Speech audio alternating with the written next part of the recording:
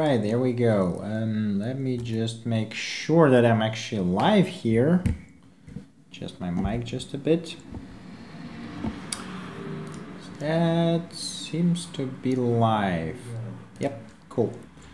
All right, um, let me open my chat over here so they can see your comments actually.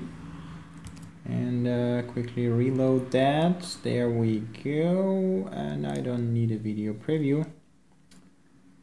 Cool. All right.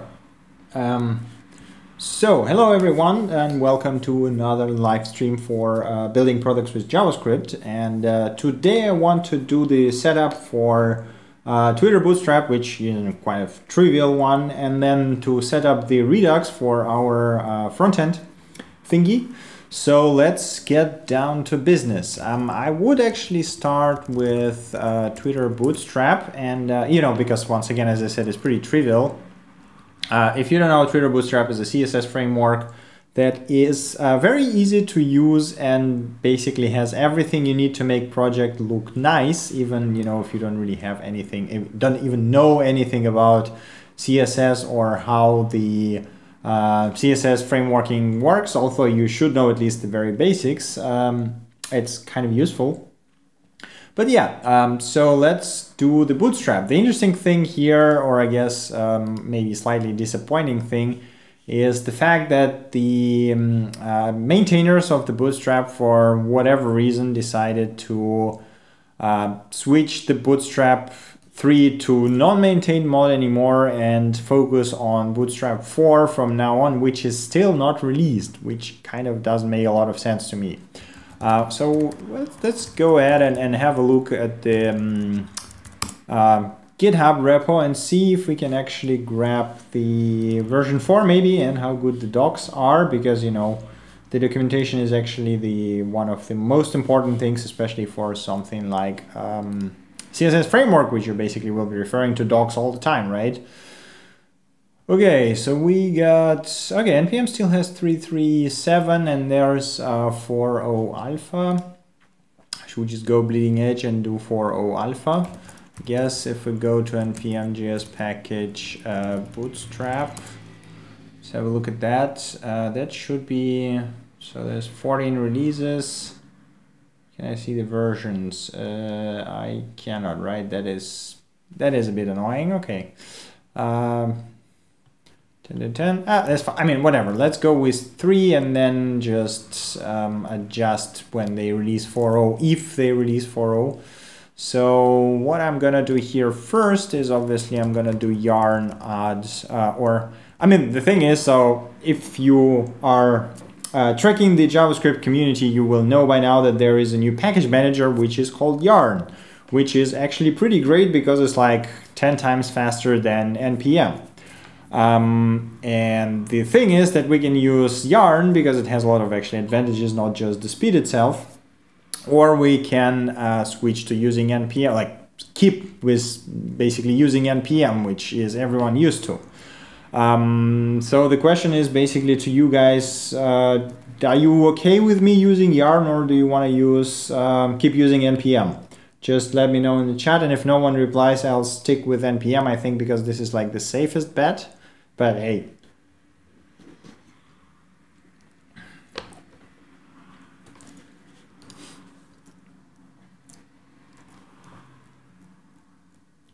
Okay, while we are waiting, uh, let me go to get started and see our template. Uh, there should be a list of templates that we can just, yeah, there we go, basic template.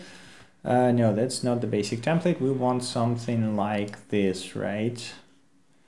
Um, and we need to know, I want to view source. There we go. And uh, yeah, why not? Let's do that. Okay. Um, yarn is okay. So people, cool. People already use yarn. So why not? Let's, let's switch to it. I mean, the thing is that basically um, there was an article today, Yarn NPM, that I read actually. Yeah, there you go. There is an article already which compares uh, NPM uh, with Yarn and gives you a cheat sheet of all the mappings. And you know, I think I like Yarn more because you don't have to write those like separate characters because I mean, mostly when you do npm install, you actually want to save it to your package JSON, right? Unless it's a global thing, then well, that's a different case.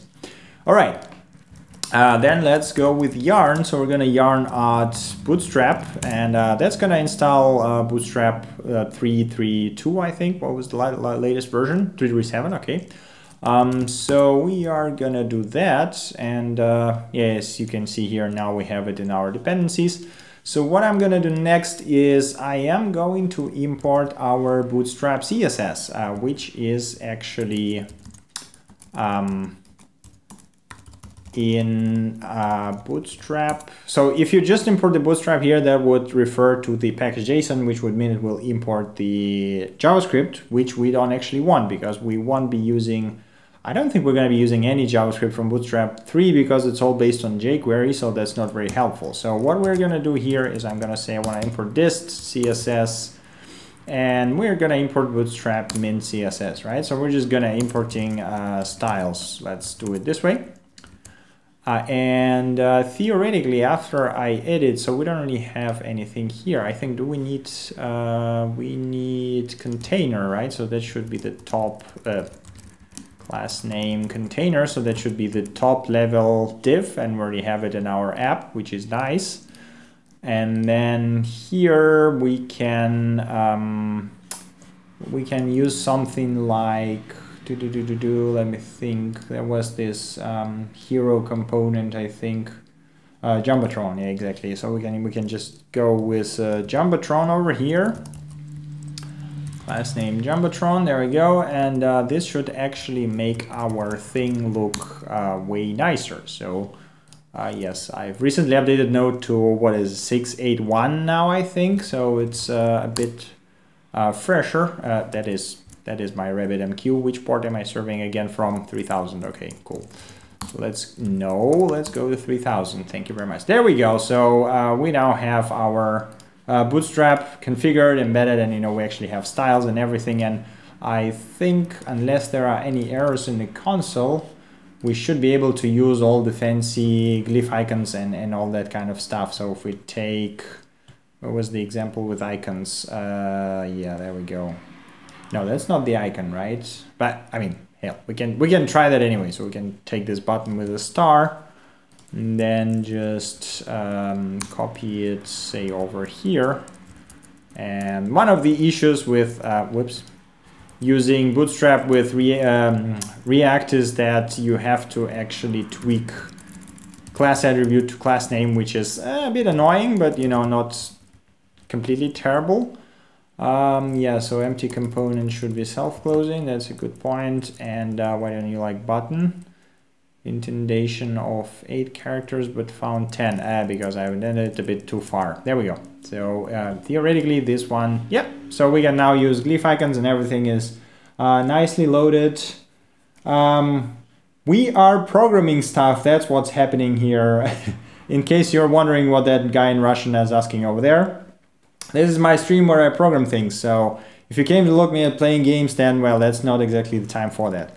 Okay, so we got that part working. Um, I'm gonna leave it like this, I think, so we don't really care about that. Let's commit this. Um, I'm gonna open another um, hyperterm shell. Uh, let's see, so I don't care. Do we wanna ignore yarn lock? And yarn lock actually locks the dependency versions, right?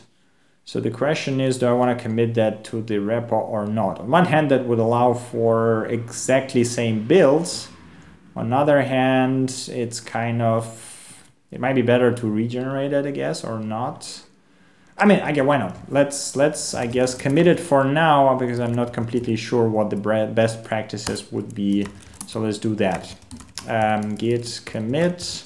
So add Twitter bootstrap uh, styling. Cool, so we've added Bootstrap, that was the easy part. Now let's talk, um, that was a wrong button. Let's move it over here. Let's talk about Redux.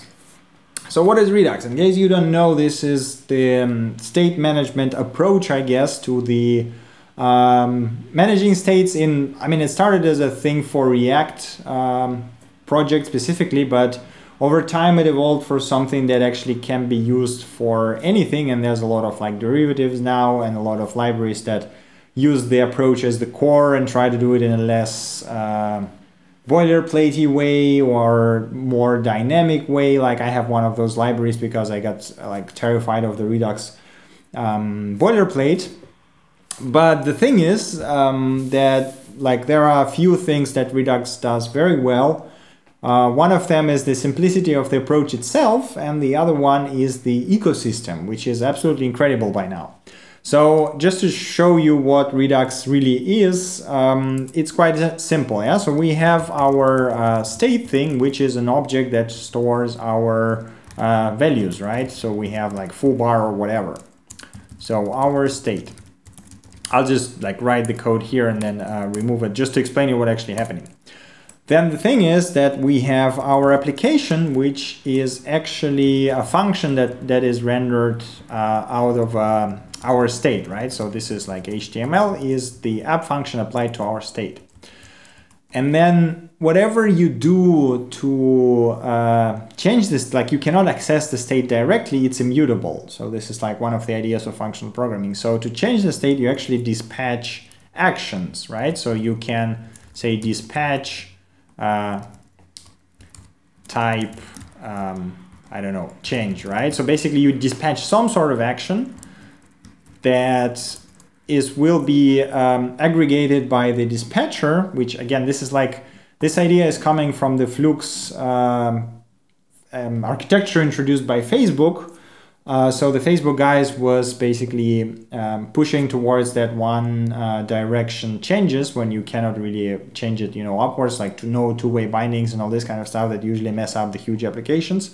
So the idea here is the same, but when you dispatch this, so you, you have a set of actions, action one, action two, action three, and so forth, right? So you have this um, whatever set of actions that obviously change over time, but the thing is they are all in that array, so they are reproducible. So if you know in which order actions happen, you can actually reproduce the state at any point.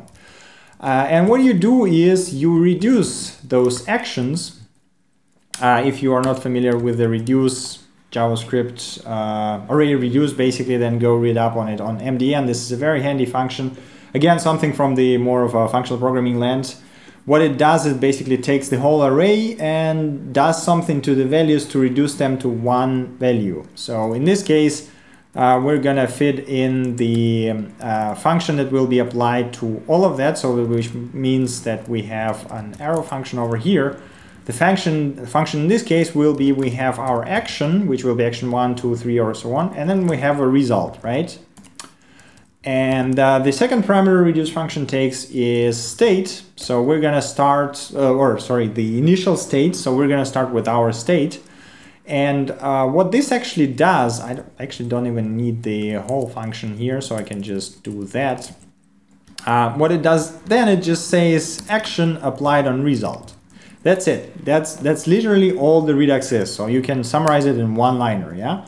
So it takes all your action, it reduces them and applies each action to result and then returns that as a state. That's it. And then everything else is basically sugar around that.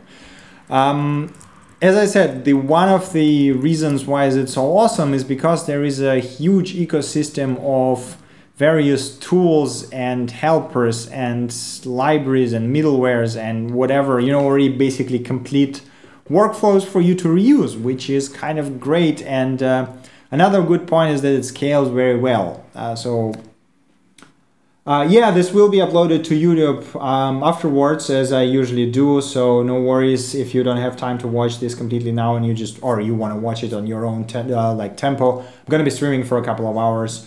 But sure, you can just watch it on YouTube later. That's absolutely fine. Okay, so coming back to Redux, um, they, they had a list of um, ecosystem. There we go. So this is all that is related to Redux. There is a ton of middlewares that allow you to do like my favorite Redux observable probably, which allows everything to write into RxJS, which makes it like ton easier to handle like large and uh, dynamic uh, events. Uh, there is immutable stuff. There is Saga, which is also pretty cool. And um, I mean, there's a ton of things. Enhancers, utilities. I think the um, uh, latest one that I've seen was this uh, Redux, I think it was Redux VCR.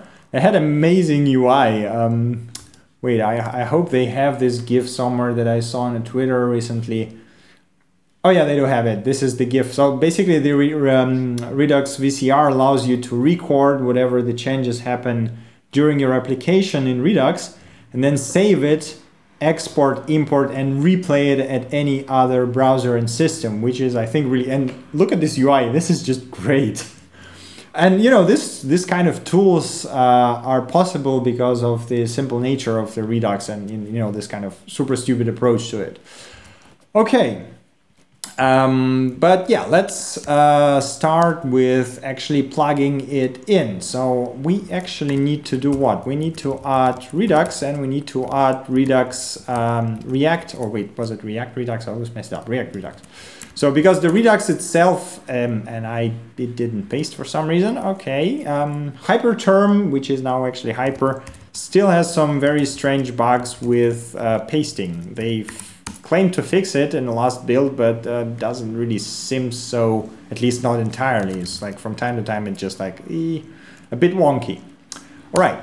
So the again, why do I need this React Redux? Is because Redux out of the box is a very stupid tool, and uh, it actually works with React. So you can use it with um, Vanilla JS, for example. There's a great example over here, Counter Vanilla, which we can take a look at. And as you can see here, uh, they use the render function, which basically just sets inner HTML and you know it just gets okay store gets state to string and render it as inner HTML. That's it. You can use it with uh, pretty much any project and uh, this is really powerful basically. But uh, since we're using React, we actually want to use it with uh, React and we don't want to write all the connectors and everything ourselves because you know that's kind of a bit of a pain and there's no reason to do that because there is already a project existing that will do that for us. So what we're gonna do is we install this React Redux um, and then we are gonna have a look at the components here. So the most, like all the components, uh, if you use Redux, most of your components should be dumb. Means that they shouldn't handle any state themselves at all. So it is actually recommended to write them in a functional manner. And uh, sometimes, obviously, you need state uh, stateful components. Uh, for example, if you have like any toggleable elements that do not need to live in uh, global state, for example, or you have any visibility filters or whatever, like location specific, that uh, you do not need to store globally and that should reset upon reload, for example. Uh, but most of the time it's basically recommended to actually use um, stateless component or functional components. So that's what we're gonna try to do. And then the important part for us is these container components. This is exactly what we want to do. So in this case, um, they define two functions. They define this get visible to dos, which we don't actually need. So basically they map the um, this is the important function, right? So uh, first of all, we actually need to create a store here. So we're going to create a store folder and we're going to create the index.js over here. Uh, and um, we, I don't think they cover actually store creation over here. Yeah, it doesn't seem so. Okay, so we are going to start with usage wizard. I think we're gonna just go to examples. I mean, I don't feel like reading the whole manual again because I did that some time ago, and it seems that it like became way better than it was. But um, React Worlds, okay, what is that? That seems to be it's probably something really big and complex, right? Let's check that. So we got a store here, and we got configure store uh, production. So what's the difference? I guess they include different middleware. Yeah, okay. So they use the uh, developer middleware basically for uh, for the development uh, version. Then they have two different files, which I mean, fine, why not? Okay, let's see if there's a simpler example. Maybe to do with undo. To do, yeah, just to do should be fine, right? So is that React stuff? Yes, it is React. Okay, cool. I mean, let's go from top to bottom. So what we need, we need um, provider. So this is the one thing, and this should be wrapping our app, right? So this is what we're gonna do. We're gonna import it over here. Um, and uh, we are going to use it to, come on, do that. And here we say provider. There we go. Cool. Do I have to, yeah, I have to give it a store, right? So then I say store and then store, and this is the store that we are gonna define. So we're gonna import store from our store. And uh, yeah, this is what we have to define here. And then let's see how they do that. So where, where they create store. Okay, so they just create it right there. And create store is basically Redux function, right? Right. Seems uh, straightforward so far. Yeah, as I said, like the only problem I had with Redux personally was the amount of boilerplate that you actually needed to write uh, at version 1.0 or, you know, like whatever the first like super promoted and public release was. Um, and I guess we want to say export default store. All right, um, and reducer comes from these reducers, uh, which should probably use combined reducers, exactly. Um, and uh, yeah, so we need these combined reducers, which will go to the same import actually. We don't need another one. So this combined reducers is a hefty function just to basically, uh, you know, I did reduce over array of actions, and this is what the reducers are, basically actions. Uh, and uh, basically, in order to uh, apply all of them, you have to do this combined reducers. So we to one reducer, which is, this is what we're gonna do, and then um, what do we actually want to do with our store? So mm, let's see. Um, state action. Uh, let's let's let me think. So we already have a page where we say so. Yeah, we have this hello world thing, right? So what we are gonna do here, I guess, is let's let's actually change this to a stateless function that will return over just our basic uh, HTML and it will use um, actually need that much uh, indent right? Okay so and we'll use props world which means it will return whatever is passed in the props. So this is basically what the Redux um, guideline says to do right? Okay so the thing is that uh, in this case we don't actually need reducer uh, do we need reducers? Yeah, we can we can create some basic action here, right? So we need, let's say, um, hello world. Uh, it's gonna be a hello world reducer, right? So I'm just gonna write it for now in one file, and then later we're gonna change it uh, without um, like we change it to whatever basically we need to do. All right, let's see. So they are using case with a switch by action type here, and um, so we have the old state and we have the new state and we apply this. So they apply this to do action, which is once again basically maps the thing to new state. Uh, that seems a bit... So basically for every action I would need hello. So I need the hello world, which actually maps state and action to new state, and I need hello world reducer, which actually reduces the old state with this action to new state, which, oh god, okay, yeah. Now I remember why I didn't like um, Redux that much, because like the apps I was involved in was mostly like let's just say not Facebook scale and not Netflix scale, so the UIs was uh, very quite simple. I wouldn't say very simple, but quite simple. So, um, okay, we want that semicolon. Okay, let's see what we have here. Um, I actually want this add to do, toggle to do. So we say hello and say goodbye, for example. Yeah. So in this case, I, I don't actually.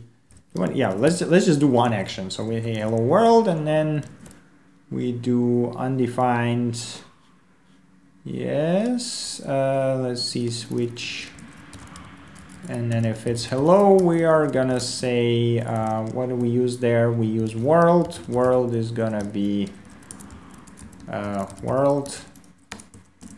That is done and then we don't need that. And in default case we just return the state itself.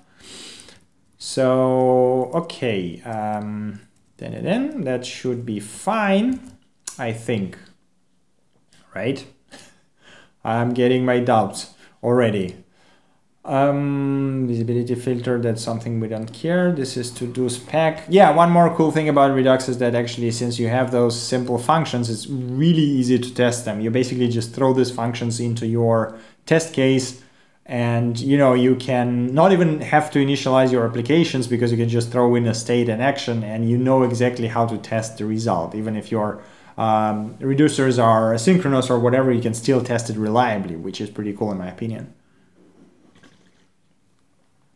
All right, so um, I don't, okay, I don't care about tests for now. Let me see.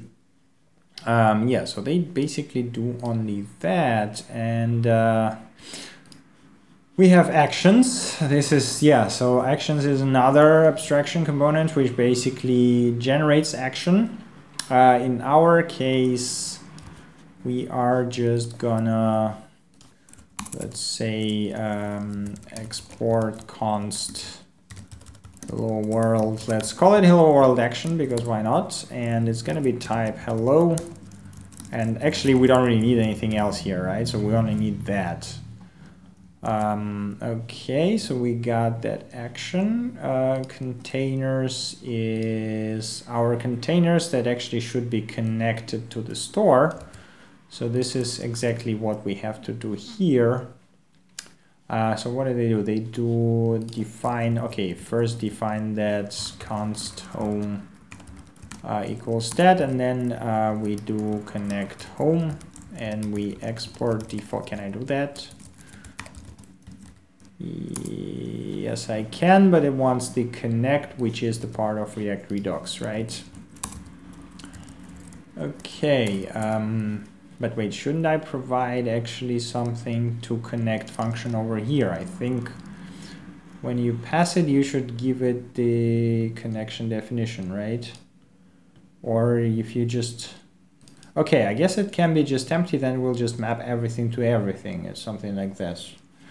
I mean, let, let's try that, why not? Uh, okay, so what's up with our application right now. There are probably some errors. Cannot read property. Uh, right, yeah, okay, I'm an idiot.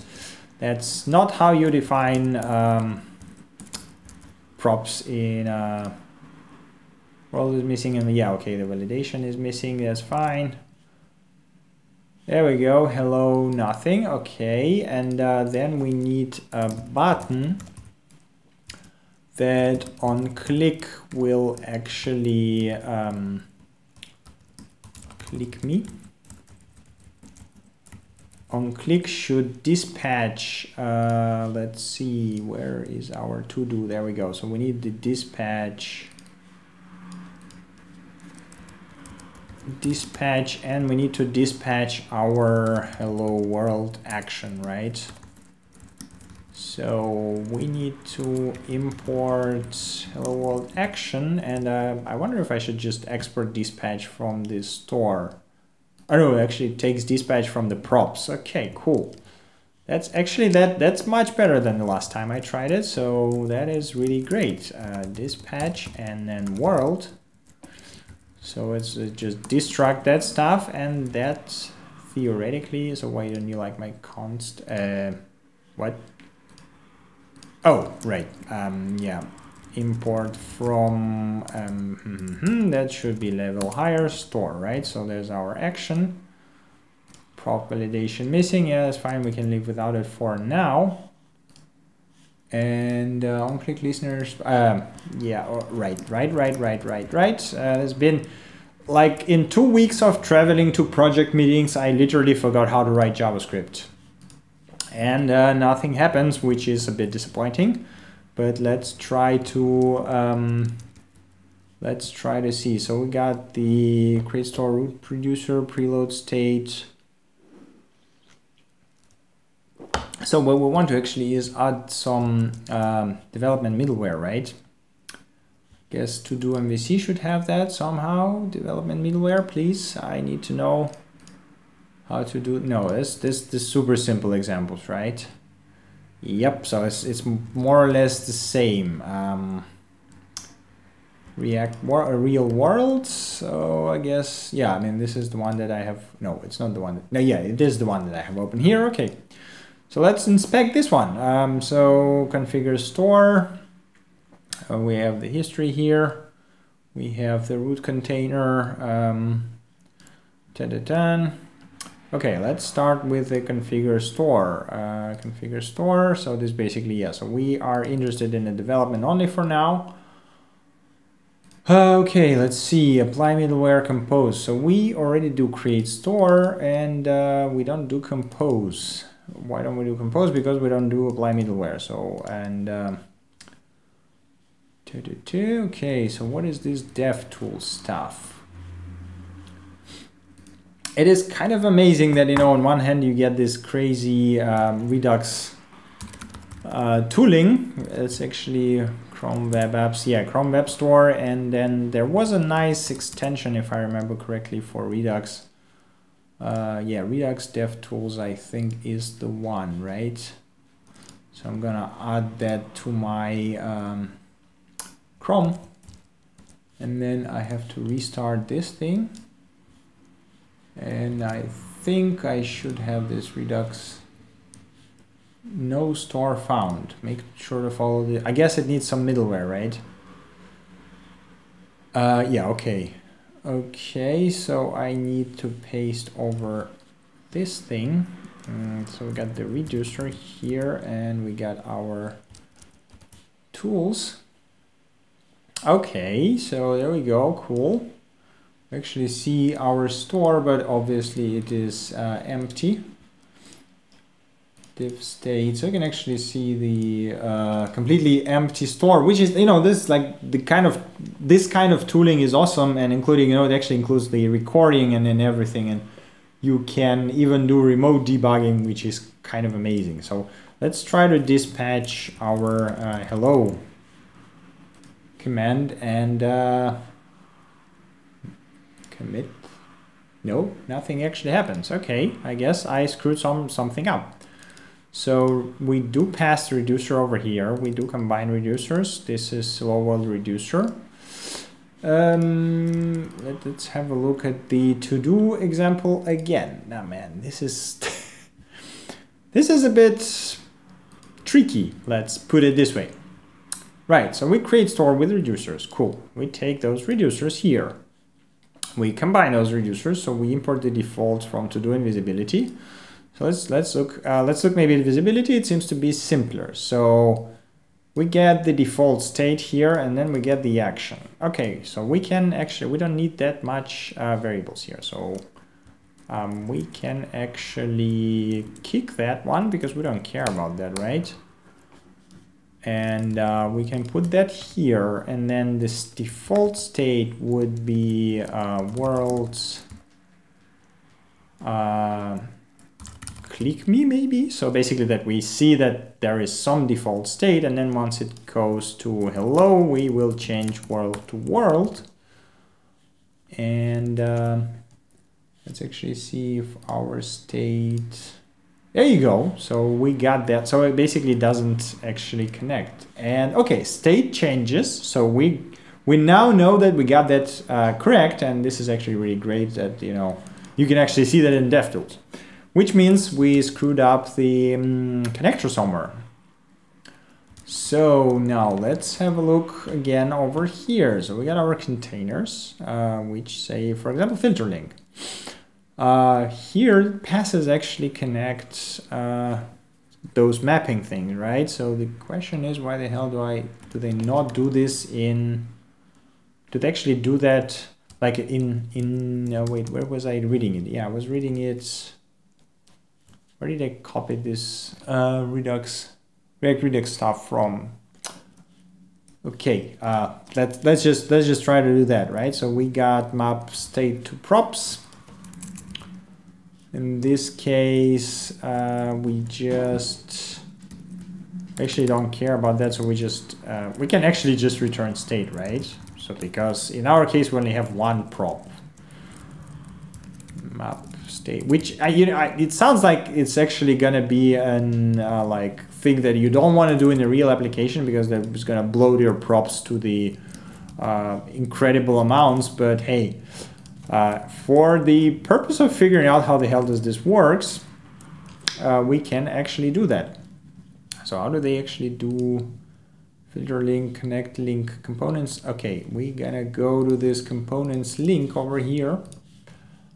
Components link and see how do they use, so they just use this on click function as is. Yeah, okay, so we are gonna do that and paste it here, which yeah, which actually looks way nicer than uh, just doing it inline. That's true. So like this sort of, I like this sort of uh, concern separation. Let's call it this way. Um, so we're gonna do that, and uh, I mean, yeah, okay. Let's not do bad things from the start. So let's just do it properly and then state world, right? So that's what I want. Cool. Um, now let's see. Does that actually, no it doesn't render uh, any errors, no errors at all. Which is, uh, what am I missing here? So I map it to, so I map this, map this, uh, call it connect on those two functions. And then I connect home and then I export this as the component, right? So filter link, do you have to do something else with this um, thing? app. Okay, let's see where is this fi filter link used. Link, no, this is the component. This is to do, to do list. This is still to do. Wait, where is it actually used? Um, containers, filter link. So this is just wraps around link.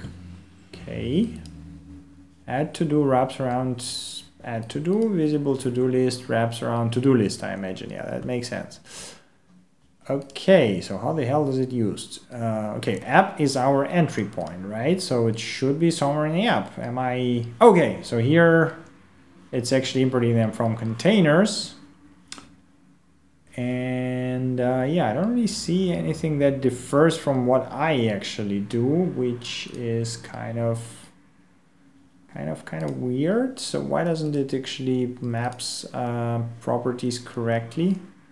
So when we wrap, I remember reading something about the um, React Router that had problems with uh, Redux.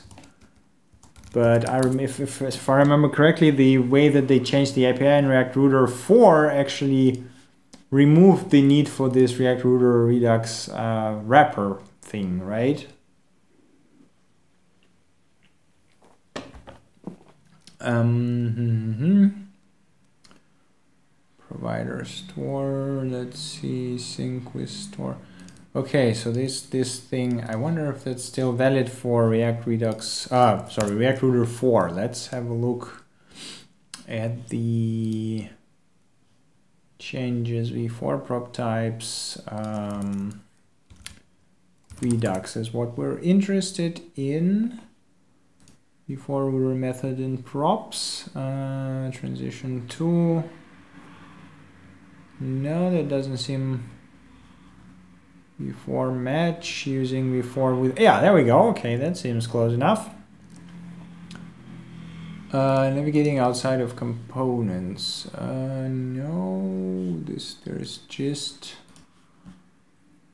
okay your component dispatch yeah that's that's clear enough. No, that's not... I wonder if they have actually examples here, maybe. That will be good. Uh, so we, this is not v4, we need v4 branch and uh, any examples, maybe in the docs? No, okay. Uh, oh yeah, they had the new website with the docs, right? Let's have a look at it. Um, navigation, blah, blah, blah. Examples, cool, router config, redirects here, and not really. Oh man, this is why it sucks to using the old uh, or unreleased software, not old. Um, although old can be sometimes annoying. Okay, React Router uh, Redux, right? So we can try to plug this thing in and see if that actually works with uh, React Router 4.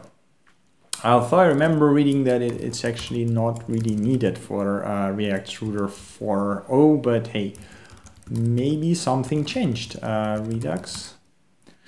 So we're gonna add that part and then uh, this is what we want and we have to modify our render right so we are gonna do this part react reducer so what do we do we do okay this we do this thing here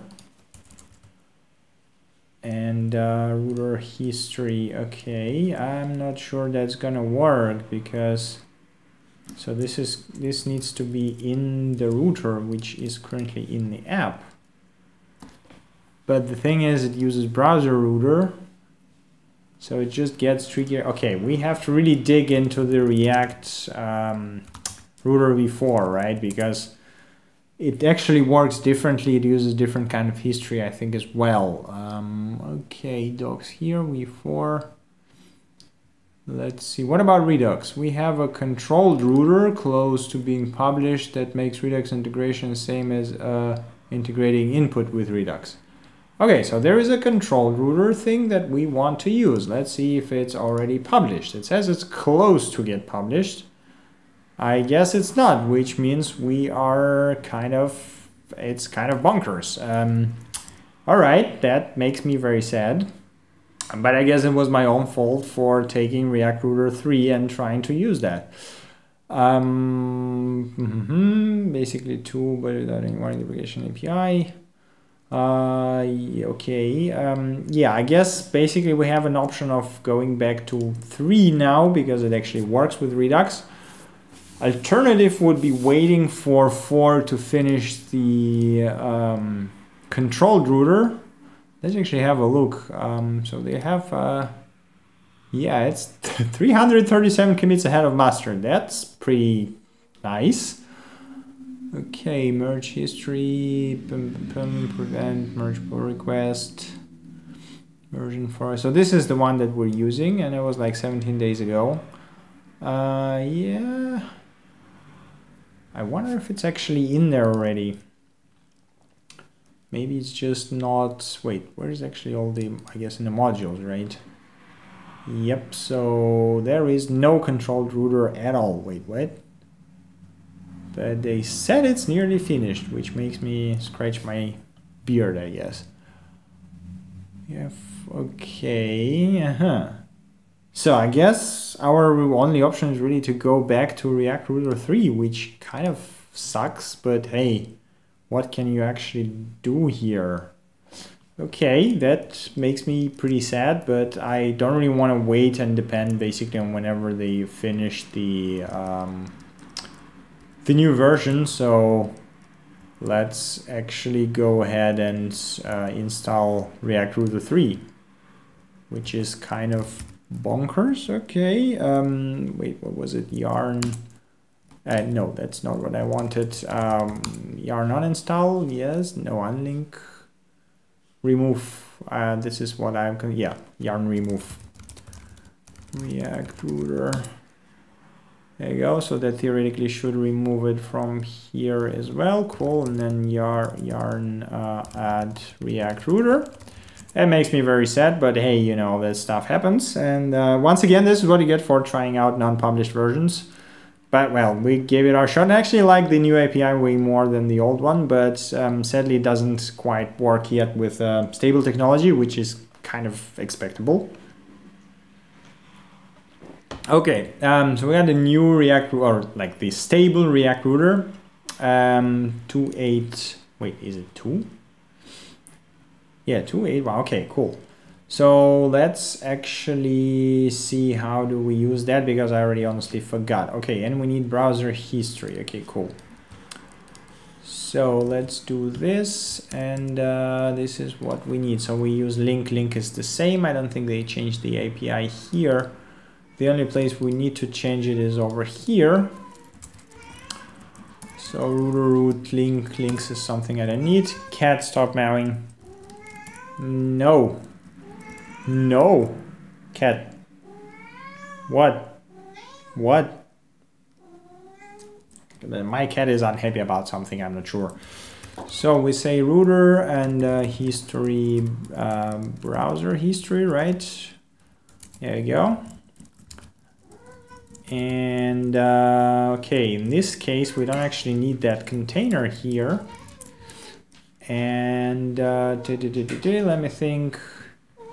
So there, yeah, there we go. It's it's quite different and I like the new way a bit more, but hey, what can you do? And we actually cannot put that into the app because the app itself should be the wrapper. So um, let's create a new file, routes, routes.js. There we go. Um, uh, whoops, that's the wrong place to export. No, export default. Um, so this is going to be our routes array. And then the app is going to be just the app. And uh, what I'm going to do here, I'm going to do... Can I actually do that? I should be. I am. I actually can just render the router as the top level component. Yeah, exactly. So we we move that to our app. We, okay, we got the router here, browser history, so we can move that over here. Um, there we go. And then the routes is something that will go over here, but I, I don't think that matters for now. I mean, our app is not yet that big to split that, right? So we can for now just write it inline and then one, once the time comes, we basically change it to uh, whatever is needed. So, okay, uh, miss is not found. Uh, let me import this over here. So this is our packages. This is gonna be our pages. All right, this is gonna be not found. We got that. We are gonna have this. Uh, okay, I don't want you to be complete thing now. So gonna be other. It's gonna be uh, other, and this is gonna be, uh, how do you do the default path? I think you just don't, no, wait, you have to, path component. Yeah, I mean, it basically just have to be home here, right? I think, no. Okay, let me just quickly check because I forgot how you do that. Uh, project say shard should have that thing and source client. I already did that and uh, every time I have to look that up again because, ah yeah, you have this index route thing, of course. Uh, I think it's still in the version 2, right? Uh, guides. Did I use version 3? I don't even remember. Index routes. Yeah, there we go. Okay, cool. We just use this index route. Perfect. Uh, and uh, index route is gonna be home exactly. And uh, so this will go into our app. Uh, spacebar here, spacebar there. Um, and I need to import uh, index route over here. Ah, yes, you have to be the same level. Store is fine. Provider is something we don't need here anymore. So um, yeah, this is gonna be our uh, div class name container, right? And then uh, basically children over here. So theoretically, which means we can actually move all the Redux stuff over here, which will clean up the index quite a bit. We still need that here. We don't need the store here anymore. Okay, uh, yeah, that looks good, but then we need to go to React's React Redux router thing and uh, wait, where this one, right? Um, let's see. What do we need to do? First of all, we need to add this routing reducer to our store. So we go ahead and uh, do that and uh, to do that I need to import it over here I guess and I only need this reducer right so I don't care about that part and then here I don't need it and what I need to is I need to do this new history thing let's copy it with a comment uh, and uh, Oh, I do need a store here anyway. Okay, cool. So we need a store here anyway. And then this is the history that we actually use. Okay, um, that seems good enough. I mean, it get it got like way more complicated than I hoped it would be. But hey, let's hope the um, React Router 4 releases soon so that we can actually use that new magical controlled router or whatever it was called so that we can integrate Redux as easy as with the input component, which would be quite nice.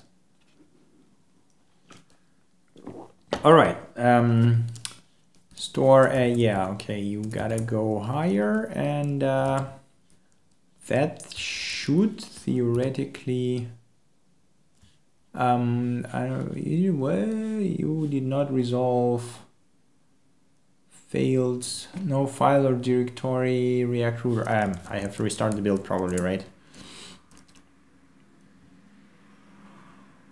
yep there we go okay Okay, location change. Uh, routing world. Okay, so it does. Okay, it does changes it, but it doesn't maps it again. So I am missing something once again, which annoys me to a great extent. Um, let's see. Um, so how do they do that? So we got this. Oh wait, you write provider around the router. Okay, uh, that might be the problem. So we go back, we go to index, we go here. Uh, no, that is gotta be here. So all of this goes here, and uh, that might be the case actually. So clean that. No, no. Here we go. And then I don't need that part here, and uh, I need to only import this part, right? So semicolon here. Come on. Where's my data? Okay, so yes, we did that. We did all of that. That is good. Uh, reducers. Yes, we have our reducers. Create store, combine reducer. Okay, let's just check this create store, combine reducers. Yes, we injected our DevTools stuff. Great. Uh, we got the sync. Um, okay, do they have example? Example basic, perfect. That's what we want, right? Okay. Um, let's check what they actually do. App. Okay, provider, div, router. Uh, they also install the React DevTools right in line, but hey, we have the nice extension for that. I don't think they actually differ that much. Um, okay, that looks good so far. We have the instrumentation for store, which we don't use for now. Reducers, okay, and uh, let's have a look how the app looks.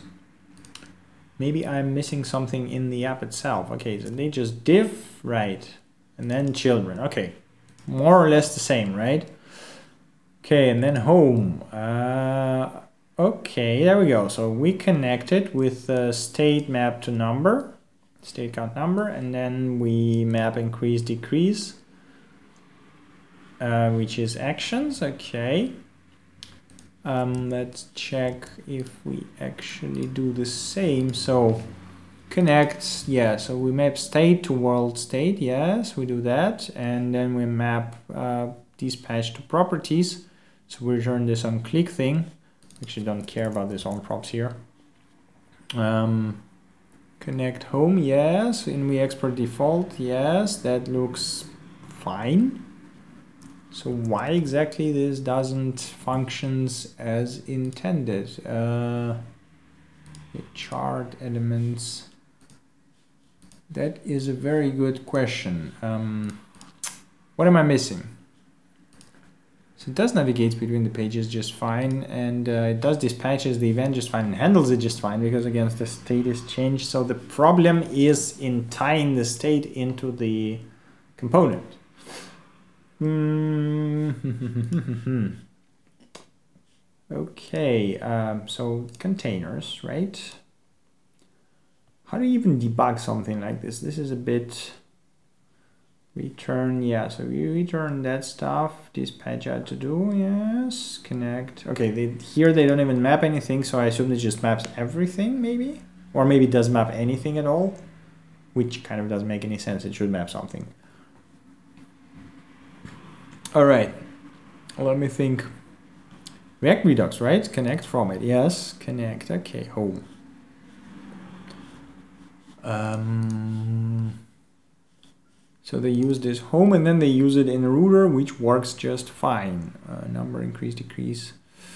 What am I doing wrong? API children, yeah, div. I mean, that's what I do. Yes, children, just render that stuff with the styling and uh, here, okay, let's have a look at the app as well again. Uh, okay, we did that. We injected this routing and it works actually because we see the, the routing events over there uh, in the Redux DevTools. We created the store with our reducer. Uh, we don't care about DevTools. We synced the history. So we wrapped it in provider store store. We say that history is our new custom history. We say that the component is app and then the uh, index route is home. Now the first question is, okay, I don't think I need this anymore. First question is, do they wrap up in the connect? No, they don't. Okay, so this is just the dummy wrapper. Now home is wrapped in a connect and we map the state to a state count number, which works fine. Um, so why the hell does not works here? Uh, Another question. I use the index. Yeah, they also use index route here, right? What am I missing? Hmm.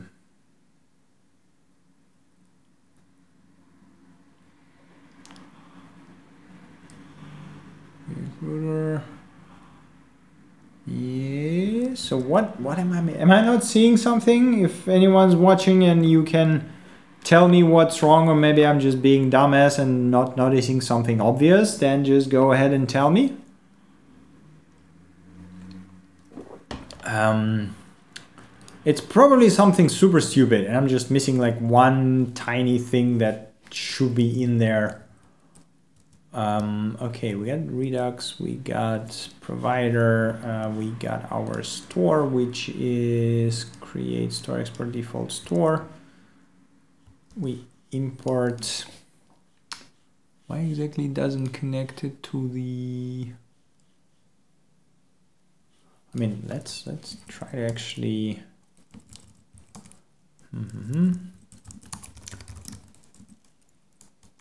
So what I am curious about is state to props.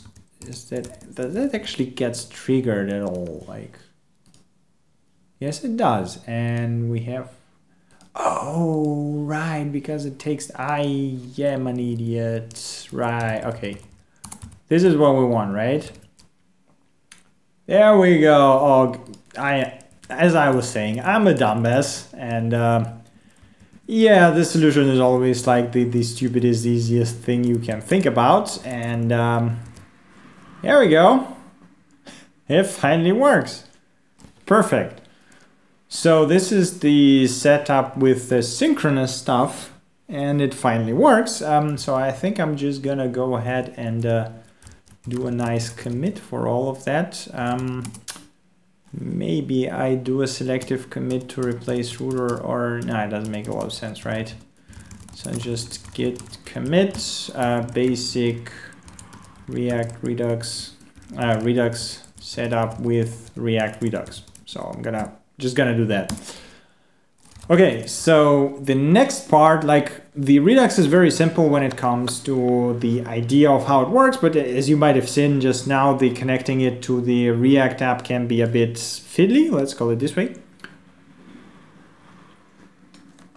Um, another point that is a bit tricky um, to use it with is the asynchronous stuff because as you've seen those uh, reducers right now, they return values. So basically, as soon as we hit something that actually does asynchronous work, we can't really return it, right? So we need to return a promise or to trigger a callback or work, you know, in any other way that is um, that works for asynchronous development. So this is why we are gonna go to the Redux um, documentation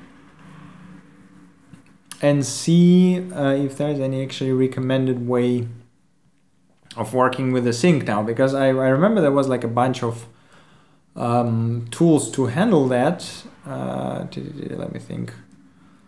Let me think where was the link? Oh come on uh, no, that's that's the videos. That's more what I want. Uh, builds passing change log. Am I again? I'm, I'm. I think I might be a bit still a bit too tired after all the travel, so I'm not seeing obvious things and links. Yeah, this is just getting started with a. re no, this is again the video. Yes. Eh, by the way, if you wanna go like in depth on Redux, I do recommend this Egghead course from Dan. It's really great. So uh, do have a look at it.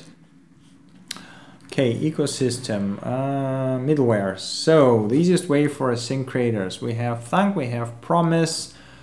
Uh, I mean, as I already said, Observable is my favorite ones because uh, they use the RxJS, which allows you to do really cool things uh, with like async stuff.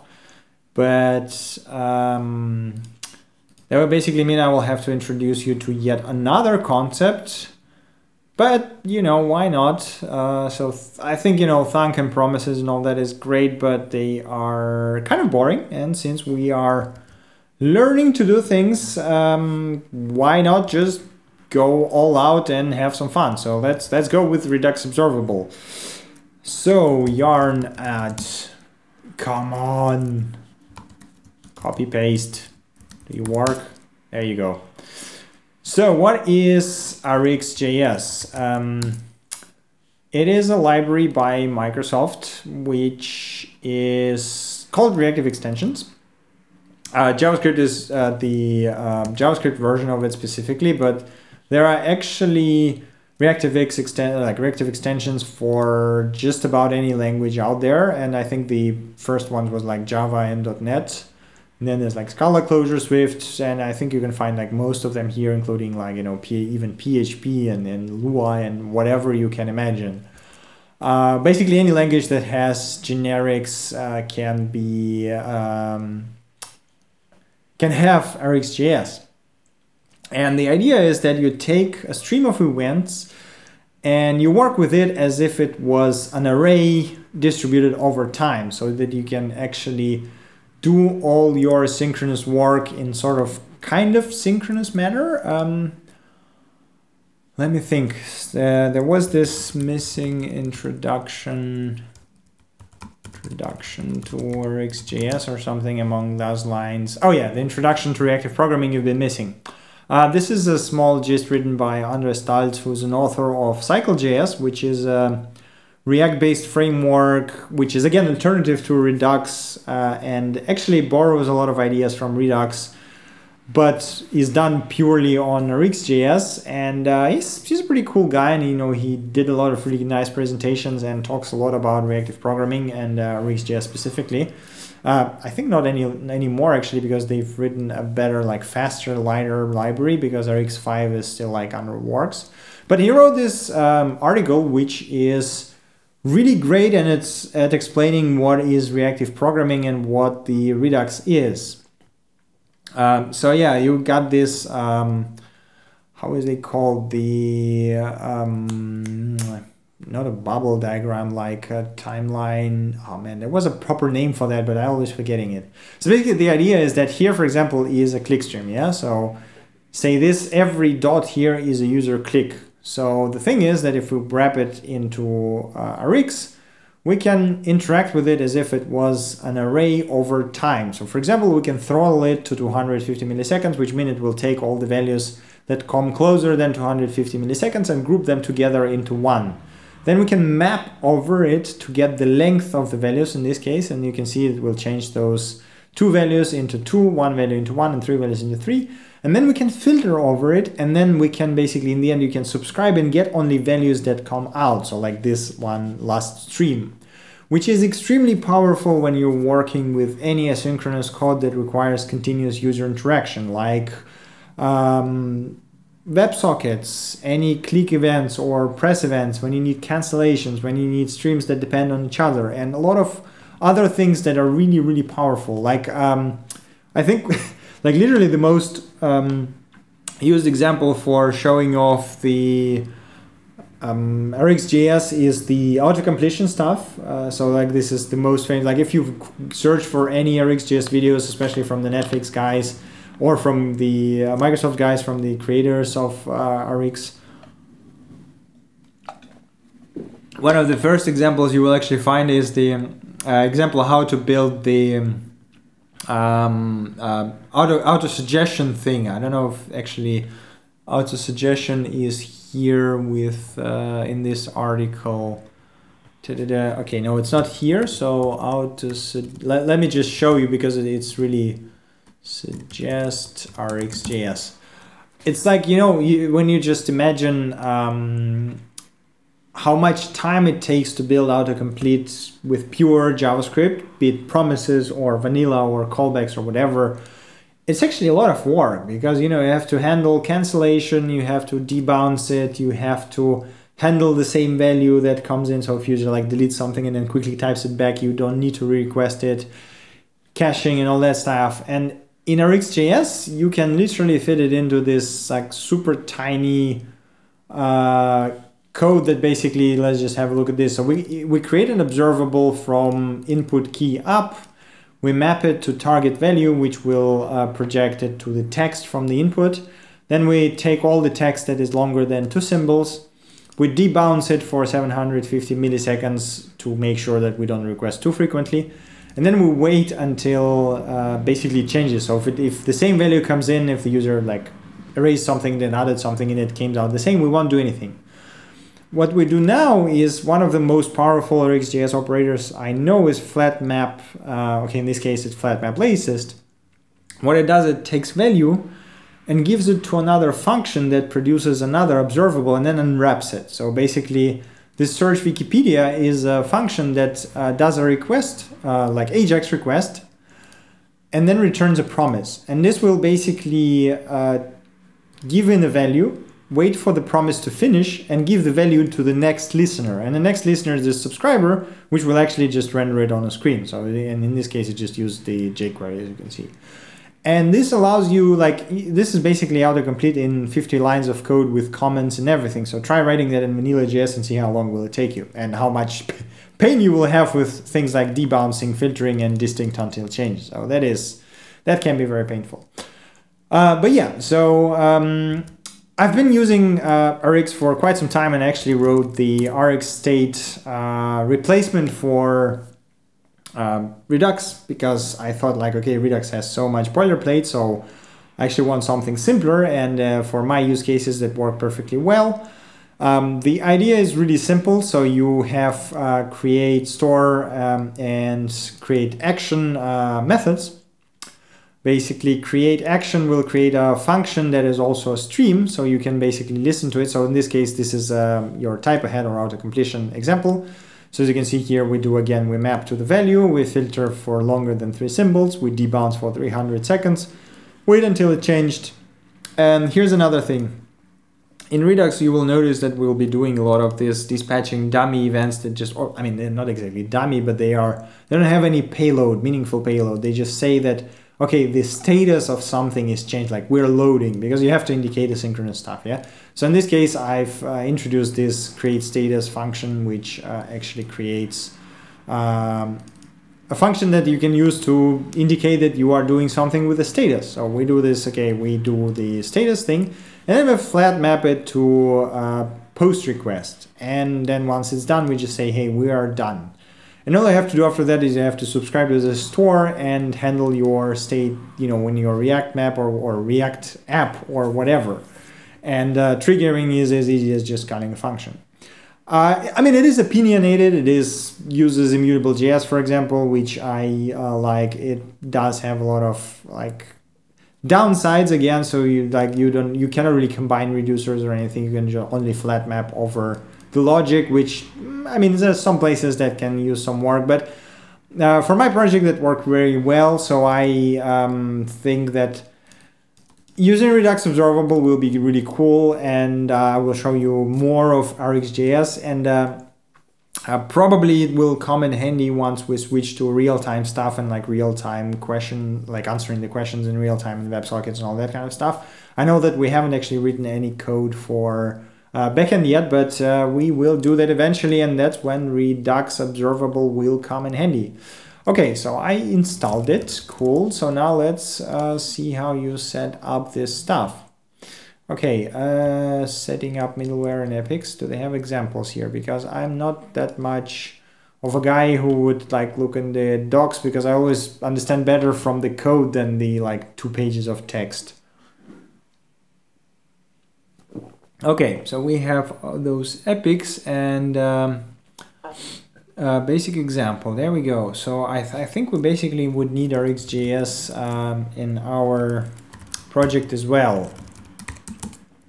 So I think this is still RxJS 4 as far as I remember because 5 5 is coming for ages. It's been like coming from the beginning of a... Oh no! Look, it's 5RC. Oh wow!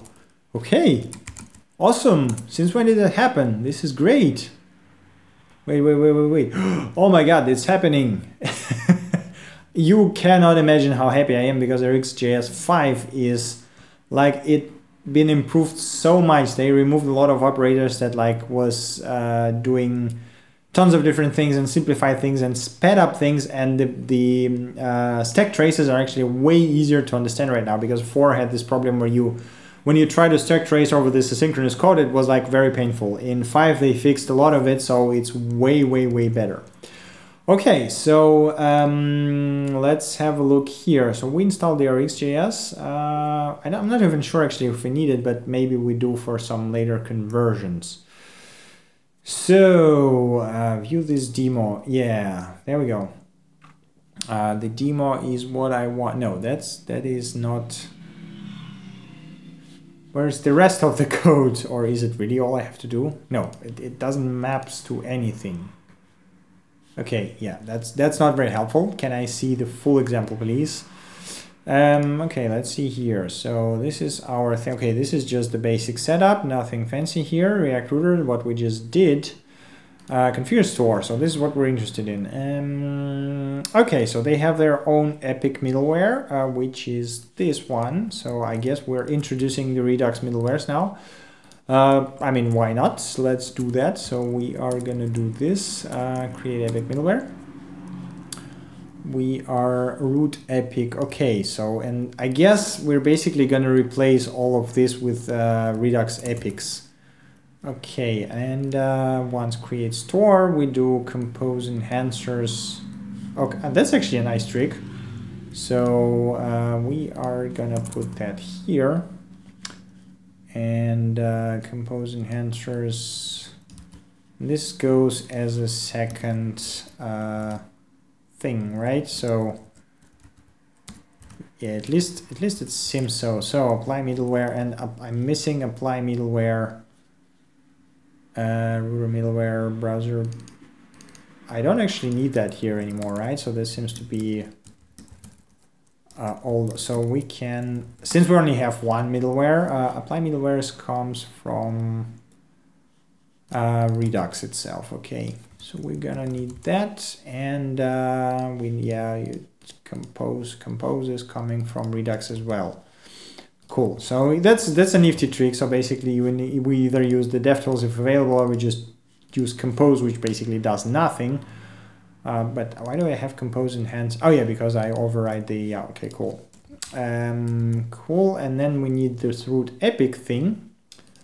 Epics uh, index so we have combine epics, which is great. Um, let's, I mean, let's let's do this. So we let root epic JS.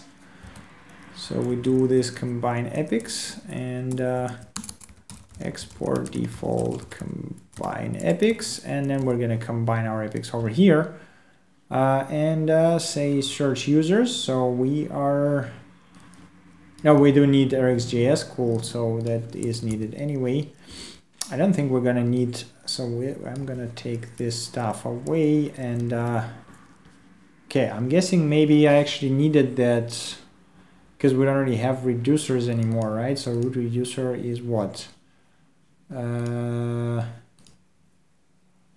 we do actually have to use both uh, search in flight true false okay that seems to be like yeah that that's just uh, users results.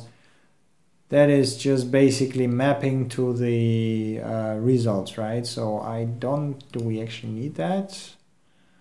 Those are just the those basically those reducers just represent states and state switches. And define this is the user resets uh, yeah I think for now we can do without them mm, but since we do need some sort of a reducer, uh, let's let's create root reducer JS, okay. And uh, in this case, we are gonna combine reducers. Why is there's like root reducer? Yeah, so we, we can just do this. We don't need those for now. can just do that, right? So, and then when I, we already have a nice code splitting here. So which means uh, this is going to be a root reducer. And uh, import from root reducer. There we go. And then import root epic from. Root epic. Uh, okay. I don't need that here anymore. And uh, we can yeah I mean that's fine. So npm packages our packages uh, is 10t8 epic middleware. Middleware there we go. Pick debug or dummy enhancer. Create reducer and uh, finally create store right yeah, Yarn is amazingly fast. I mean, I've been like I've as I said, I've been traveling for the past week, so I didn't really have time to change check it there because we had like super crappy hotel with horrible Wi-Fi. But it basically the uh, install for the client here on npm takes about 17 seconds, and on Yarn it takes like two with cache. Without cache, it was about 10, so it's like double, almost twice as fast and then you get like log file, which makes your build reproducible, which is even better because npm shrinkwrap is not very reliable. And like, I mean, npm in, in general, like npm 3 in general is like eh, a bit dodgy. So yeah, I'm really happy that Yarn is uh, out there and have been developed. So it's, it's like, it's really great. Okay, uh, we don't, yeah, I guess we can just take Ajax here. Um, no, we don't really need Ajax for now. Okay, so let's see what actually happens here. Uh, so this is gonna be const dummy. Uh, so we're doing hello world again. So we're gonna do hello world world. There we go. Uh, and it's gonna be an arrow function so this uh, dollar notation is something that is kind of used in the uh, RxJS world to uh, denote the stream. So whenever you see a variable that ends on dollar, this is going to be an observable, which you can subscribe to a map over and so on and so forth. So basically doing uh, any actions. Okay, um, in this case, they are doing some uh, filtering of type so I guess we don't care about that. And uh, what I'm going to do is I'm going to just take and map it to uh, world. And uh, then I'm going to do switch map, which is I think the new flat map uh, because they renamed some of the uh, variables. Let me have a quick look. So we can have a look here. Uh, they have a good like the, the one of the cool points about RxJS is that they always had amazing docs uh, and I don't know where they put them now. They still in doc folder? Great. Ah okay it's actually on the website now. Cool. Oh that's fancy. All right uh, so we need what? Uh, we need yeah observable and I want to see the flat map or I think it's switch map now. Yeah I think they renamed it to switch map.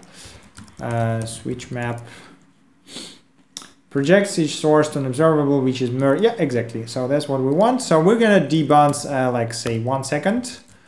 And uh, what I'm gonna do here is I'm just gonna say uh, waiting.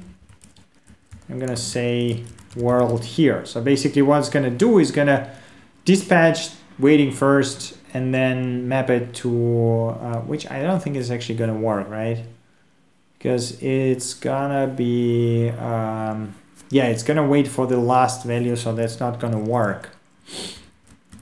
Uh, world uh, I guess we have to kind of do this properly otherwise that's not gonna happen. Okay uh, so let's see um, let's go back to epics. No no no I want epics. Thank you very much uh, repo by users, yeah, whatever. So action types, this is one thing we need is to define action types. Okay, types JS. Um, let's have a look at how they actually, no, let's go forward and uh, action types, there we go. So they just use constants here. Okay, cool. Action, uh, we're gonna define hello world action uh, hello world. So it's going to be just like one-to-one -one mapping just to use constant, basically, you know, whenever you can evade uh, uh, magic strings, because magic strings are really hard to debug and uh, navigate, uh, it's better to use constant variables, obviously. Um, so we're going to import hello world from um, that's to be what no it's in this folder right? Action types yes and then of type hello world. Um, I guess yeah I guess actually their approach action types hello world there we go. Um, why don't you like it this way? What do you action types as a named export uh yeah okay um, all all as action. Yeah, that, that's what I want, right? And uh, here I don't really care what I map to. Uh, no, because we don't really have any value and I'm gonna concatenate it to one nice line. And then we're gonna combine epics into hello world. Uh, so that theoretically, okay, I don't need that for now. Uh, let's move it over here. I don't need Redux anymore as well, so we're only interested in, in the Redux uh, observable now. Okay, uh, let's see. So we do that, uh, index.js. So we combine epics, cool, we did that. Uh, let's see, index, no, we need configure store, right? So we got our epic, we create epic middleware, and we paste it in there. So in theory, um, I think I need to restart the build because I installed a new package, so it won't pick it up. There we go. Let's see, and uh, switch map is not a function. Uh, store does not have a valid reducer. Make sure the argument passed to through. Okay, so do I need to have at least one reducer for this to work? Um, all right, let's let's check. So we got what? We got reducers epics, uh, repos by user, for example, and uh, fetch repos by user. So okay, so this one is action payload action type. Okay, uh, I'm trying to grasp how that exactly connects together. Okay, user, uh, user results. I mean, this just gets the users, right? Initial state. Um, okay, let's let's try to const hello world. So this is going to be our reducer. World waiting. I mean, let's extract it. Const. Uh, initial state. Let's extract it into a variable. Initial state and then action. Um, but in this case, action payload user. Okay, uh, but do they actually use payload here? Action payload user, switch map, save user props. Okay, I'm not not sure I get how exactly they work. So wait, do I am I missing some part of the configuration here? Um, okay, let's see. What about the introduction guide basics? There you go, epics. I mean, epics is is quite seems to be quite clear, right? So is the core primitive? Yeah. So you have a function that takes in an action which is an observable and a optional store, and produces another uh, observable action. All right, so this will be infinite loop. Yes, that makes sense. Basic example, action filter. Yeah, so we filter by type. This is what we need of uh, using the uh, of type, right? Uh, I think so, at least dispatch, yes. So that seems straightforward. Your reducers will receive the original ping action, then one second later receive pong action. Okay, so you have to dispatch another action for reducers to handle. Ah, I see, okay. So, which means that... Um, okay, I, now I get it. So basically, this will act as the thing that does requests or whatever the synchronous part, and then reducer will basically handle saying, hey, uh, so, okay, switch, no, switch action case, uh, so action types. So we're gonna start, we're gonna have hello world, and we're gonna have hello world end, which will indicate that it actually ended, right? and um, we are gonna say okay I'm gonna import that thing here as well all as action types from action types yes action types hello if it's hello world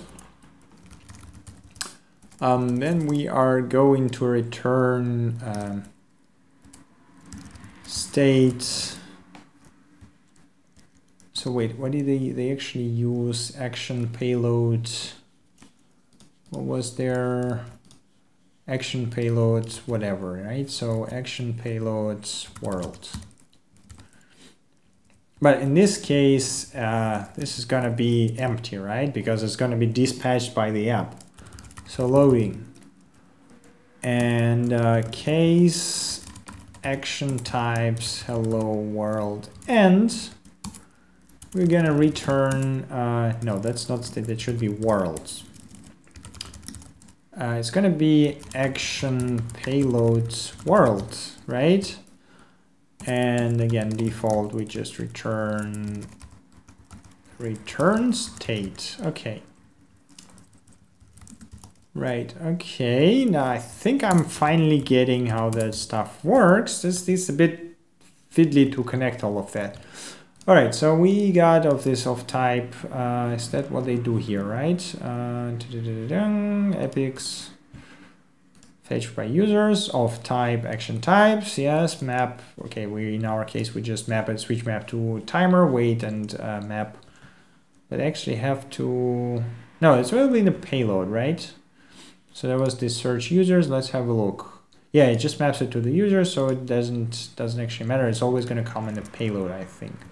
Okay, let's see if that actually works. No, it doesn't. Combine reducers complains about something. Uh, store doesn't have a reducer. Combine reducers. Um, did I mess something up while moving parts around? Oh, right. Uh, I don't have to combine reducers. Right, I am being a dumbass. I just have to do that, right?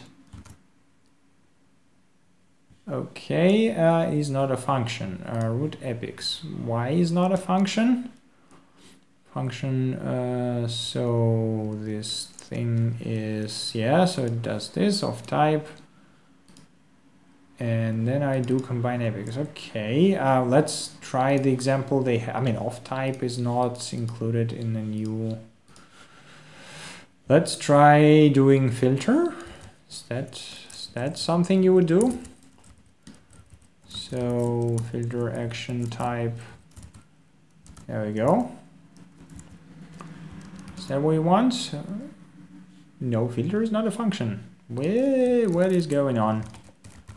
Return, so what is this action right now actually? Console log action, right? What will action, uh, actions observable, okay. So it's supposed to be observable. Why can't I, am I missing some other setup steps that other XJS or something? Uh, okay, those are epics and then this setting up middleware.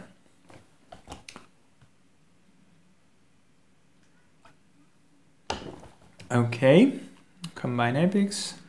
So yeah, basically you have one epic and one reducer for each of the things that you want to do, uh, which I guess makes sense, but still, you know, more boilerplate for lords of boilerplate, I guess. Um, doesn't really seem to be okay learned previously. Yes dax matter okay uh, do they have a setup guide where they show actually what do you need in project? Fa troubleshooting there we go. Uh yeah there we go it's not a function. Um import okay so i just need to import. All right, because RxJS5 is modular. Uh, okay, so they don't import that automatically, so you can basically do that yourself. Okay, uh, which means we can just say uh, import switch map, and we need to import uh, of hmm? absolute imports. Oh yeah, okay. Uh, of type, right? Stat, no, it cannot resolve that. way I mean, okay, can we just do it stupidly and uh, where's my index.js? Let's just uh, import RxJS over here. So that works? There we go. Reload that stuff and hey, it works! Waiting, click me. Uh, well, action, ah, right, I, oh god, I killed the actions, right? Yeah, because I'm a dumbass. Um, let me think. Um, yeah, so I don't care about this anymore. What I want is git diff sublime. Where did I kill this action? Hello world action. Yeah, there we go. So it was in the store index, right? Uh, which doesn't actually makes a lot of sense. So let's do actions.js over here and uh, do that, right? So uh, which means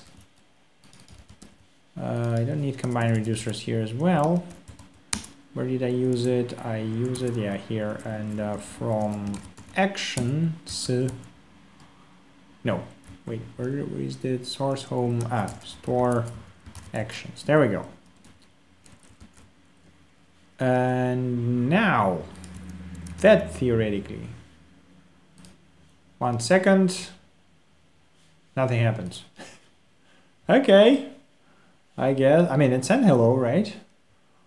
Um, oh, right. What I was saying about magic strings, they are bad. That's why I screwed everything up.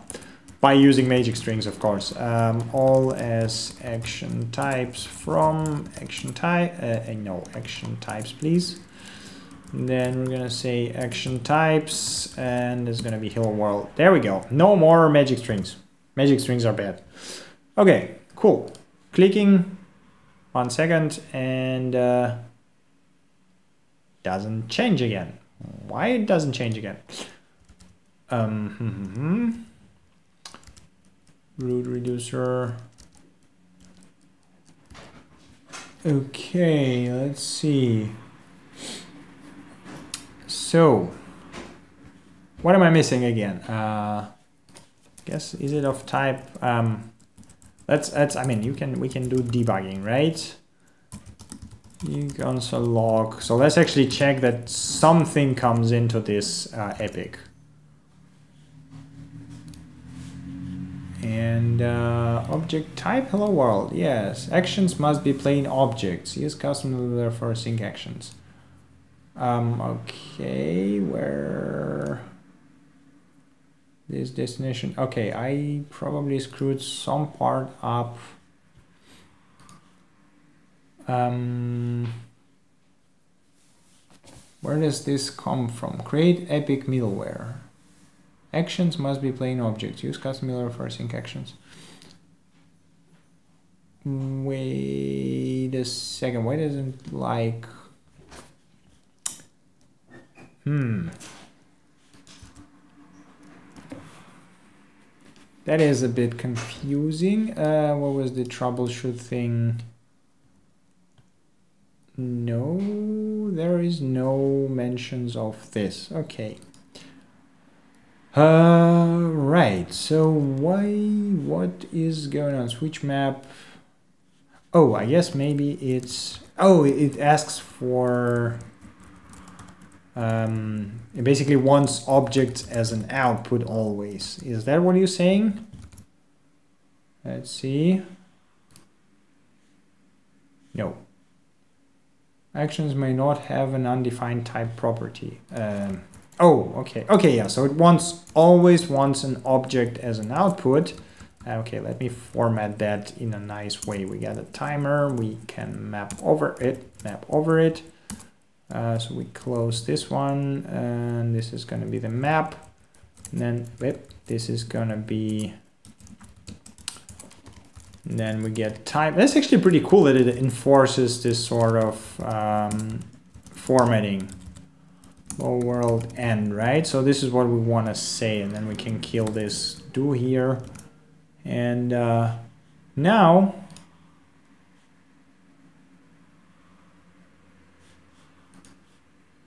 nothing happens. Why nothing happens? That is a very good question. Let's see our reducer. So hello world loading. Um, why doesn't it actually? So this should be click me in there, but once I dispatch that, it should actually start loading, right? But it, I mean, I know it does actually trigger. So wait, why does the text doesn't changes? Okay, uh, let's have a look at the, let me refresh and let's have a look at the state. So at the state, um, a click me thing, clicking it, and it doesn't change. Why it doesn't change? That is a very good question indeed. Um,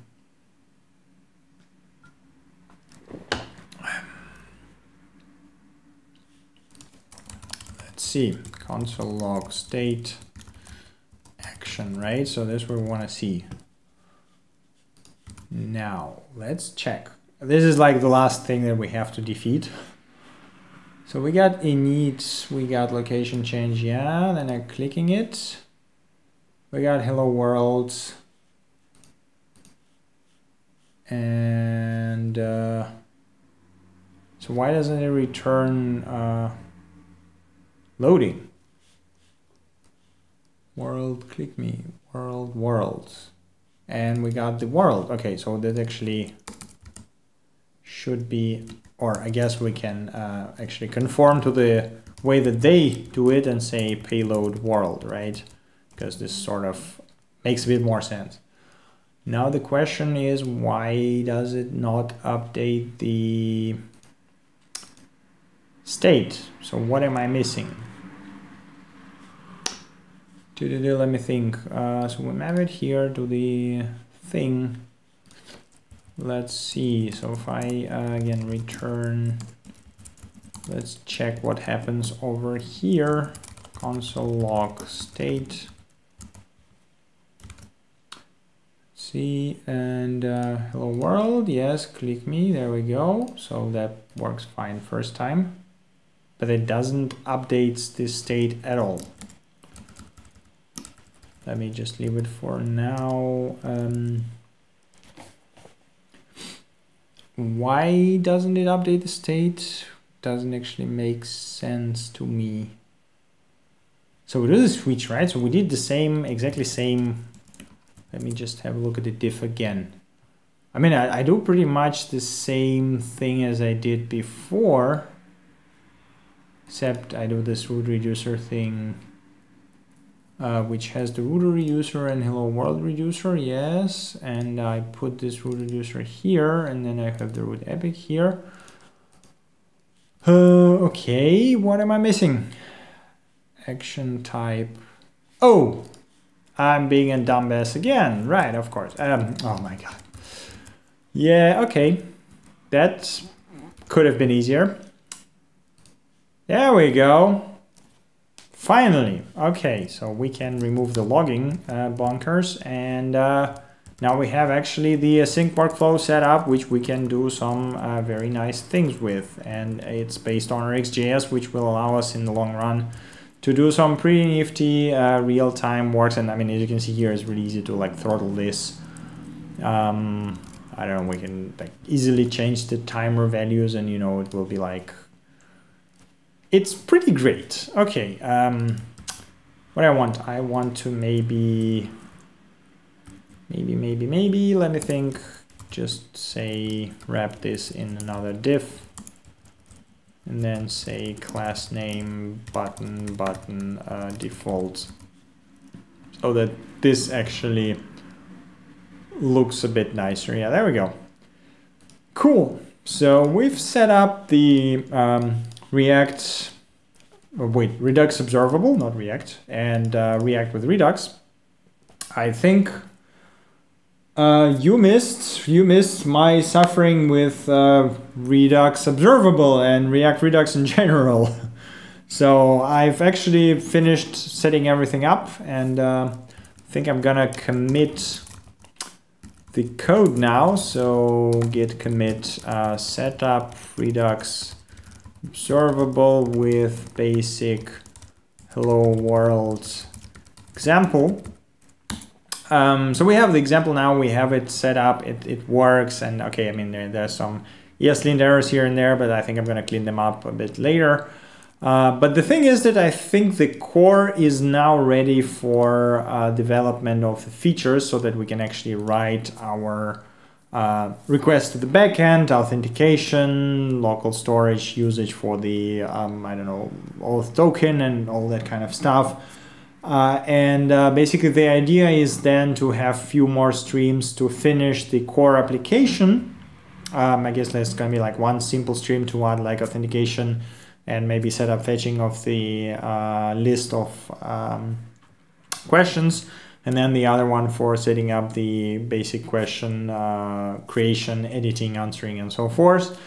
Uh, and after that, I'm gonna do a video that's gonna wrap the whole front-end development up. And after this, like wrapping up, we're gonna do the fun stuff like, you know, adding real-time um, stuff via WebSockets. Uh, yes, I did switch to React Router 3 indeed, because React Router 4 is not compatible with Redux yet, and React Redux, uh, React Redux Router middleware thing doesn't work with version 4. So there was a painful decision yeah, yeah, exactly, exactly. That's that's that's why I did it. And uh, I mean, the React Router uh, four specifically mentions in the uh, description that they will release some super simple component that will make integration with Redux very easy, but it's not there yet. And like, I don't want to just wait until they release it. It's like, I mean, I don't think it's bad, but you know, once they release it, we can easily migrate to it because uh, it, it like it had a simpler code than this and the source code was uh, much nicer and had much less boilerplate because we didn't need to do this like React Router Redux uh, stuff and you know sync histories and everything but hey what can we do? We need to progress a bit. So I've did that. Um, but yeah I think that's about it for today. So if you have any questions I will give you a couple of minutes to write them uh, down. I think I will just push um, wait what oh okay. I have to update. Yeah I think I merged some pull requests. Yeah exactly. Okay cool. And then I can push it there we go. So meanwhile uh, yeah if you have any questions feel free to write them in uh, chat. Uh, if you don't well I mean or if you're watching this on YouTube feel free to write them uh, down on YouTube. Uh, Redux Observable uh, is the thing, since you missed that, is the thing for handling asynchronous stuff.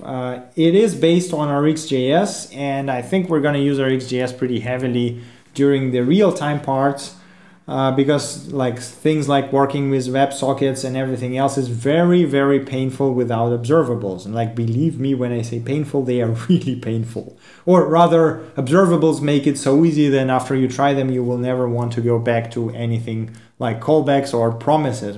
Promises don't really work for um, for WebSockets, for example, because promises can only uh, resolve into one value and you know the WebSocket can send multiple. So um, and I decided to introduce RxJS because why the hell not? We're learning stuff, right? And this is a very powerful tool, and if you know that, that will help you a lot. So um, uh, the if you rewatch the video on YouTube, there was some uh, articles and uh, videos that I showed off from Netflix and uh, some other guys about RxJS that are really great. And if you're interested, go uh, look them and uh, read about them uh, because they are really awesome. I mean, as I said, I've like this Rx State thingy that I wrote, uh, which basically replaces the whole Redux uh, in like few lines of code.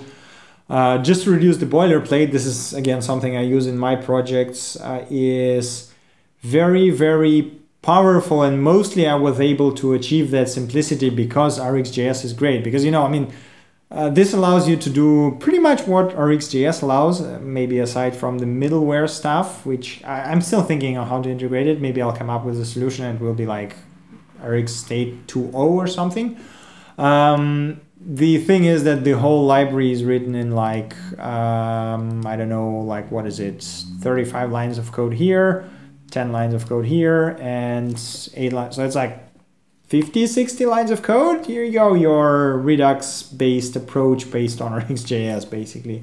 It's really great. Um, but yeah, I mean, it's, you know, it's not for, it's not basically usable for all things. So it's not like I, I had that problem. Like, I mean, I in general have the problem when I pick up a new fancy technology and then I just start throwing it at all the problems I have. Like, oh yeah, I know I can solve it with RxJS. That's a terrible way of doing things. Don't do that.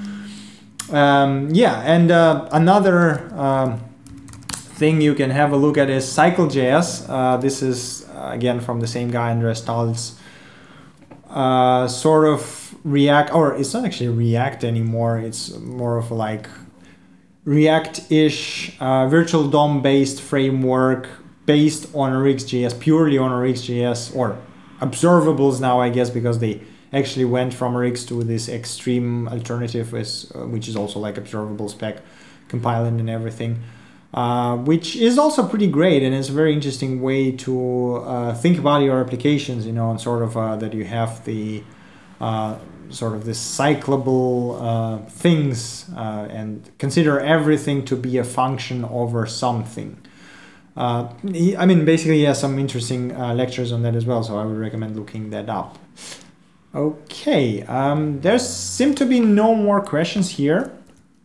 Um, so I am gonna, I pushed everything, right? Yep, I did. Cool. So I'm, I think I'm gonna wrap this up here for today. Thank you for uh, watching the stream and staying uh, live. Um, again, this is going to be on YouTube, so feel free to watch it or rewatch it there. Uh, feel free to ask questions in the YouTube comments or our Cozy Gear chat as well. So I'm going to be uh, in there as much as I can. Uh, I don't seem to have any more like huge travels coming up soon or huge project deadlines um, that I will be like falling out of the doing those videos much more. So we should be able to finish within the next few months at least the base of it and then we can see what we do with like mobile apps and everything. But yeah we'll we'll see how it goes. Um, so yeah thank you for watching and um, see you next time guys.